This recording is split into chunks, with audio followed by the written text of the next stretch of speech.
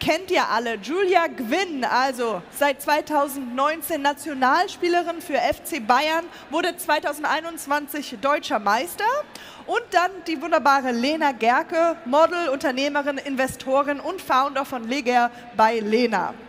Jetzt fragt man sich, was haben denn diese zwei Frauen denn gemeinsam? Und um das rauszufinden, müsst ihr einfach nur eine Sache machen und hier sitzen bleiben und zuhören. Zuallererst, äh, diese ganze Talkrunde wird moderiert von Imke Salander. Und deswegen begrüße ich zuerst Imke und Julia auf die Bühne. Give a big round of applause. Erstmal vielen Dank für die liebe Einleitung. Geil, ey, Hamburg einfach. Ich freue mich so, hier zu sein. Also, du darfst dich aufs schöne Sofa setzen. Wir wurden schon vorgewarnt, man äh, sinkt in dem Sofa ein, aber geht, oder? Es geht, ja, danke. Perfekt. Also wie gesagt, ich freue mich unfassbar heute bei der OMR am Start zu sein und noch viel mehr, dass ich zwei ganz, ganz tolle Gäste dabei habe. Als erstes Julia, ich habe mir gestern als Vorbereitung auf unseren Talk noch deine Doku angeguckt und das ist wirklich phänomenal. Da geht es ja um deinen ersten Kreuzbandriss und wirklich deine Recovery. Und was da richtig durchstrahlt, ist einfach deine Leidenschaft für den Fußball. Und da habe ich mich direkt gefragt, wie hat das überhaupt bei dir alles angefangen? Ja, das hat mit meinen zwei älteren Brüdern angefangen. Äh, ich spiele seit ich acht Jahre bin im Verein und meine Brüder waren eben älter und haben mich immer mit auf den Bolzplatz genommen und da ist die Leidenschaft so entstanden. Ich war immer in der Schule mit meinen Freunden auf dem Bolzplatz und ja, da hat sich eine Leidenschaft entfacht, die mir nicht mehr genommen wurde und deswegen bin ich bis heute super gerne auf dem Fußballplatz. Man sieht ja auch deine Family in der Doku und man sieht auch den starken Support was du auch gesagt hast, ist, dass diese ganze Recovery-Zeit, die ja wirklich, die Doku sagt es, 336 Tage ging, dass das auch dich verändert hat. Inwiefern hat dich das verändert? Ja, man hat halt einfach die Chance, als Mensch zu reifen. Und man hat in der Fußballblase immer nur, ja, man denkt von Spiel zu Spiel, von Training zu Training und plötzlich wird man eben aus diesem normalen Alltag rausgerissen, ist auf sich allein gestellt, was man im Teamsport nicht kennt und hat dann einfach eine Challenge zu lösen und einfach sehr viel Zeit in sich selbst zu investieren. Und gerade durch diese mentale Schiene oder auch was jetzt im Kraftbereich angeht, das kommt im normalen Alltag zu kurz und dann hat man in so einer Reha einfach sehr, sehr viel Zeit an sich zu arbeiten. Das hast du auf dem Platz dann auch bewiesen, dass das äh, dich ein Stück weit weitergebracht hat. Jetzt hast du dich ja leider nochmal verletzt im Oktober 2022, also im letzten Jahr. Wie weit hat dir das so geholfen, die ganzen Sachen, die du mitnehmen konntest aus der ersten Verletzung und Recovery? Extrem viel tatsächlich, ähm, weil man einfach ja die ganze Leidensgeschichte schon mal durchgemacht hat. Man kennt es, man kennt den Schmerz und man weiß einfach, dass man sehr, sehr schnell die ersten Schritte einleiten sollte.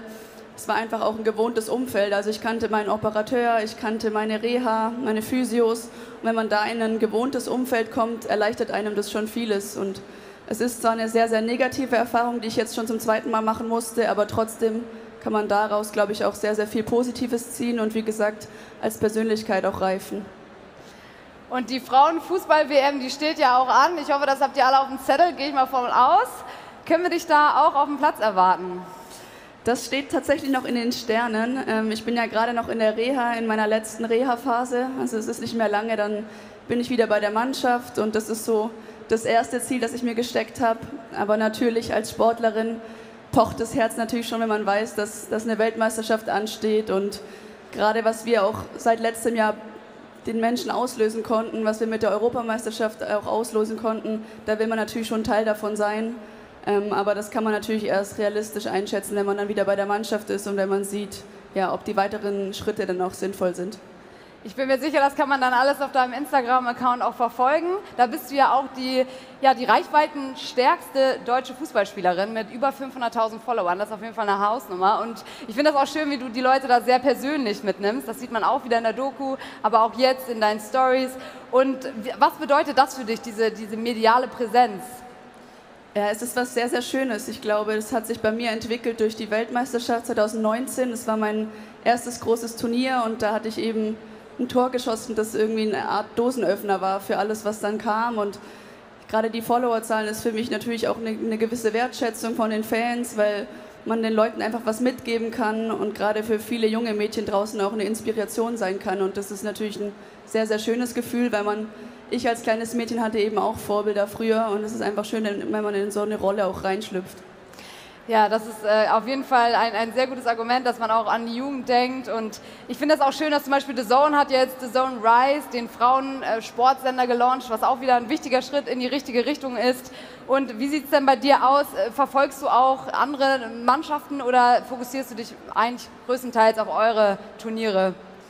Nee, ich, ich verfolge definitiv eigentlich alles, was mit dem Fußball zu tun hat, aber auch was mit anderen Sportarten zu tun hat.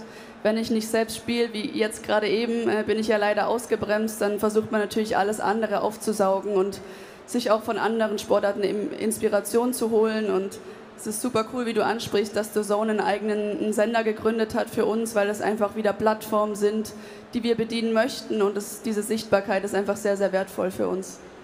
Apropos wertvoll, da war ja gerade wieder eine Rekordkulisse und zwar beim, beim Köln-Frankfurt-Spiel, wo über 38.000 Leute zugeschaut haben. Wie wichtig sind dann solche Gegebenheiten für euren Sport?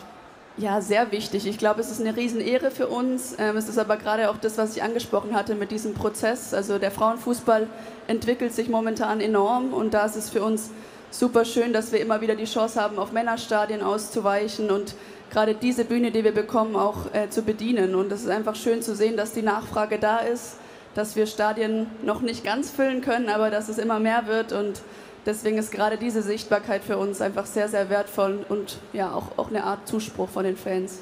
Absolut.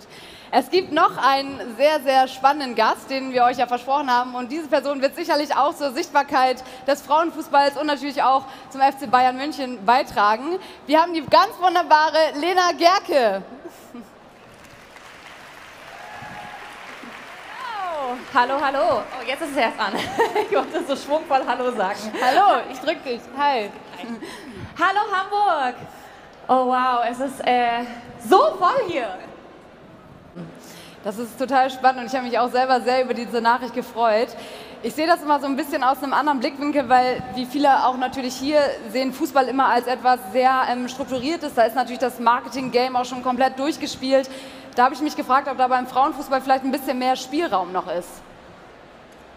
Das könnt ihr vielleicht beide beantworten. Ihr hängt, äh, ich, ich würde sagen ja. Also ich glaube ja und ich glaube, da liegt auch die Chance drin. Also der FC Bayern ist ja auch auf mich zugekommen und hat gesagt, hey, wir finden ein Brand so toll und die Mädels tragen die Sachen auch privat. Kannst du dir das vorstellen? Und ich fand das sofort toll.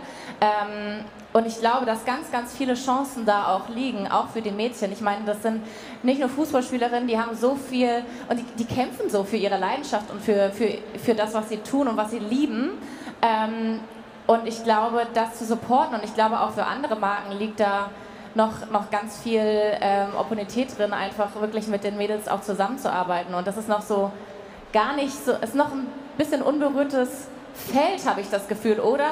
Also korrigiere mich, wenn, das, wenn, das, wenn ich falsch, was Falsches sage, aber ich glaube, dass da noch viel, viel, viel mehr ähm, passieren kann.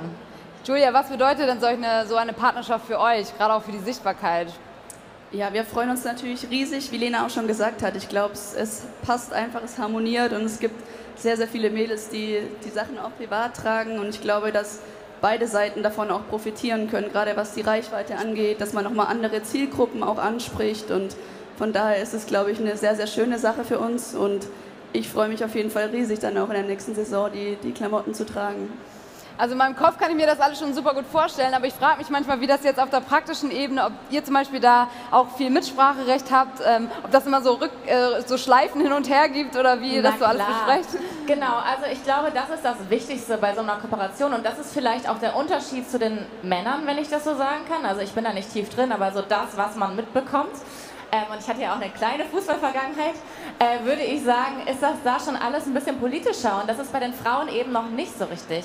Und deswegen liegen da ganz viele Chancen, auch als Brand und sich zusammenzutun mit Kooperationspartnern, auf die man wirklich Bock hat, die irgendwie authentisch zum Brand, zu FC Bayern passen und zum Frauenfußball passen generell. Jetzt haben wir hier natürlich auch die Möglichkeit, direkt zu Brand zu sprechen, weil ich denke, der eine oder andere von einer Marke wird auch hier im Raum sein. Was wäre denn so dein, dein Rat? Also beziehungsweise würdest du das schon sagen, dass man aktiv auf den FC Bayern zukommen soll in Sachen Vorstand, gerade auch beim Frauenfußball? okay, das kann ich natürlich nicht sagen. Das musst du wahrscheinlich besser beantworten, aber. Auf jeden Fall. Nein, also ich glaube, das, was Lena auch meinte, es ist einfach im Vergleich zum Männerfußball, ohne den Männerfußball irgendwie äh, schlecht reden zu wollen. Aber es herrscht noch sehr, sehr viel Potenzial und es ist wirklich so ein bisschen noch unberührt. Und deswegen ähm, glaube ich, dass wir mit unserer Art und Weise, mit dieser authentischen Art, aber auch einer gewissen Nähe zu den Fans einfach noch äh, ja, was ganz anderes bieten. Und deswegen, wir sind sehr, sehr offen, sehr kommunikativ und wir freuen uns natürlich primär erstmal mit dir gemeinsam zu arbeiten. Und ich finde das auch so schön, weil Sportlerinnen oder Sportler allgemein, die sind ja immer sehr sehr, sehr bodenständig, ne? weil ihr seid irgendwie von klein auf da rein und habt irgendwie immer Gas geben müssen und ganz viele Sachen auch beiseite äh, lassen müssen in, in deinem Leben, weil du einfach ne, so viel Zeit und Liebe irgendwie dem, dem Sport dann gewidmet hast oder widmen musst, um auf so einer professionellen Ebene spielen zu können. Und ja, ich glaube, das ist einfach total interessant auch für andere Brands. Mhm. Äh, bei Frauen, da kann man sich ja alles vorstellen, ne? sei es Beauty, sei es Fashion, sei es, ne, auch wenn man vielleicht irgendwann mal Mutter ist oder so. Da, also da, ich, da, ich hätte da so viele Ideen, ja, was da passen könnte und ähm, ja, mache da auch sehr gerne Werbung für. Aber wir starten jetzt mal mit unserer Kooperation und da freue ich mich total drauf. Da werden wir auf jeden Fall ein Auge drauf haben. Ich denke, ihr könnt beide auch sehr gut beantworten, inwieweit man das als Unternehmerin unter einen Hut bekommt oder bei dir einfach mit einem, mit einem Profijob vereint, dass man trotzdem auf Instagram so aktiv ist und da auch so guten, hochwertigen Content raushaut. Wie schafft ihr das? Fühlt ihr euch da manchmal unter Druck oder geht das so locker von der Hand? Also bei mir ist es tatsächlich so, dass ich meinen äh, Kanal komplett selbst auch mache und ähm, es natürlich immer mir wichtig ist, dass der Fußball im Fokus steht und ähm, alles, was ich nebenbei mache, ich mache Social Media einfach total gerne. Ich habe das schon äh, gemacht, bevor ich eben diese Reichweite hatte, aber ich versuche einfach den Leuten was mitzugeben, was ich tagtäglich mache. Ähm, und es ist natürlich besonders, wenn man dann gerade jüngeren Mädchen einfach auch äh, was zeigen kann und ein Stück weit äh, eine Hilfe sein kann und eine Inspiration darstellen kann. Hm. Ja, das schaffst du ja, wie gesagt, auf deinem Kanal auch super gut. Und wie ist es bei dir?